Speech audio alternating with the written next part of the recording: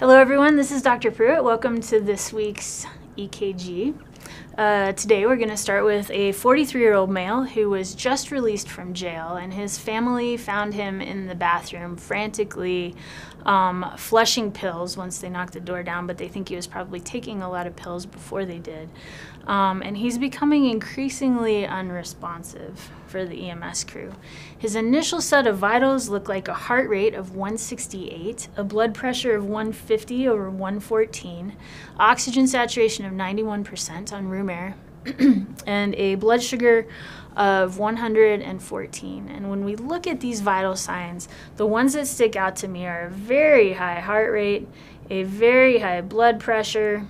This indicates to me some sort of increased sympathetic activity, whether that is in the setting of him taking a lot of pills in the bathroom, maybe methamphetamine.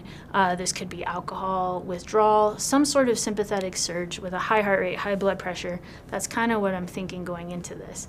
But of course, anytime someone's got an overdose, what we're going to do is quickly get a 12 lead. Um, and what we find on this one looks like this. We're going to read it just like we do the same way every time. Looking here at the rate, we've got a rate of 174 according to the computer, we're going to check that with our eyeballs, see if we agree. It definitely looks fast to the naked eye. And I'm going to start over here at V4. I see a QRS complex that lines up with a thick red line. I'm going to count down 300, 150. Sure enough, this falls between, the next QRS falls between 150, 300, closer to 150. I would agree. It's probably around 170. So this is definitely very tachycardic. Um, next, we move on to our rhythm, and this one can get a little tricky. First question we ask ourselves is there a P wave before every QRS? And our best place to find P waves is in lead 2. When I look at lead 2, it's very difficult to discern any clearly demarcated P waves here. I think I see one right here. Um, maybe I can hallucinate one right there. But moving across the rest of this 12 lead, maybe a P wave there. They're not consistent, and I definitely don't see a P wave before every single QRS. My next question is Is this regular or is this irregular? And the faster the heart rate is, the more difficult this can be to determine because if it's fast, there may only be subtle changes between the ventricular depolarizations. And so, what I like to do here is what I call march this out. And I've already pre marked some lines here, but find an area where you can just mark three QRS complexes and see if they march out. And if I do that here, they don't match up as I move it down. And if it was truly a regular rhythm, it would be the same all the way down the 12 lead. But since they're not matching up here, what this is telling me is I have an irregular rhythm. So I have no P waves and an irregular rhythm. We call this irregularly irregular. This is usually suggestive of atrial fibrillation, and since this rate is so fast, we call this AFib with RVR. As we're moving on down at the other things that we look at, we start to evaluate our axis. So we look at lead 1 and lead AVF. Here, um, we have our thumb.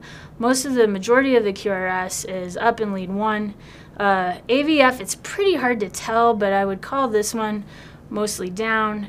Um, if you remember our tiebreaker, we can always go to lead two as a tiebreaker for our right thumb. This is down, so it confirms that we're down. I've got a left thumb in the air. We're going to agree with the computer here that this is left axis deviation, although it's a little bit subtle, and it's probably due to the rate. Um, then we move on to our intervals. We've got our QRS and our QTC that we're looking at. Our QRS, remember, we want that to be less than 120. Here we're 80, we're good to go. Um, and then our QTC is 477, little long. Remember, 450 is technically long. 500 is when we're at risk for spontaneous dysrhythmia. We're a little bit on the long side here. Gonna keep an eye on it. Probably wouldn't want to give this guy Zofran. Other than that, just good to know. And then we start to evaluate our ST segments, and it's not uncommon when someone, especially older people, when they have a rate this high, that poor little heart is like running a marathon, and that's basically a stress test for them. And so sometimes rates like this will cause ST depressions in certain leads where they may have some underlying heart disease. Um, I always read from left to right, looking at two, three AVF here. I'm not really seeing any ST elevations or depressions. Same thing in one um, AVL. No ST depressions there. Septal leads look okay. Um, maybe starting to have just a slight suggestion of a ST segment kind of depression in V5 and V6 here. But again, I think that's probably rate dependent. I don't think this is a STEMI. I think what I need to do is probably slow that heart down or figure out why it's beating so fast. Um, so I'd call ST segments normal.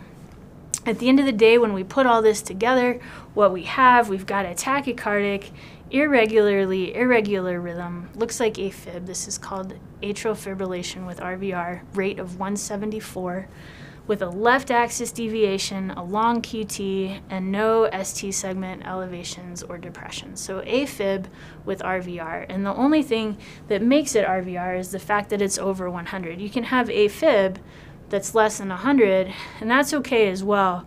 But once it gets over 100, that's the way to say you have tachycardia plus AFib. And that just means the atria are depolarizing very fast and very scattered and very unorganized, but all of those are being conducted to the ventricles, making those ventricles beat very fast.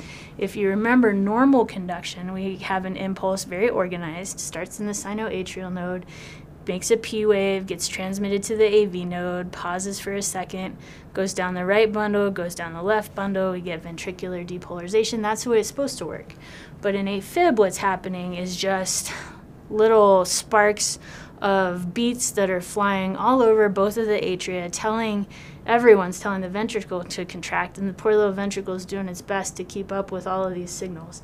And that's exactly what's happening in this heart. So sometimes all the signals get through, but the ventricles still need time to repolarize. And so that's why it's irregularly irregular, as some signals get through, some don't. Not very organized. That's what you see here. Basically, chaos. So we need to ask ourselves why. We typically see this rhythm very often, and a lot of times it's in our older patients. And I think of it as a manifestation of something else that's going on. So if you see this, it doesn't necessarily, it means they may have some like underlying heart disease at baseline, but I tend to think of it as more of a metabolic emergency. I need to figure out why is this happening? Are they on drugs? Did they not take their beta blocker? Is this guy on meth or some other overdose? Are they septic? It's very common in sepsis. Are they hypoxic? Um, what about alcohol withdrawal? What about GI bleed? All of these underlying things can cause this heart to beat irregularly, and we can address these things, but they're important to ask about. Um, the longer that they're in this rhythm, the harder it is for the heart, and over time can lead to cardiomyopathy or congestive heart failure. And so when we think about what to do about these things, we can treat these things. Um, if it's a volume problem, you can give volume. This is, sepsis is a volume problem. GI bleed is a volume problem.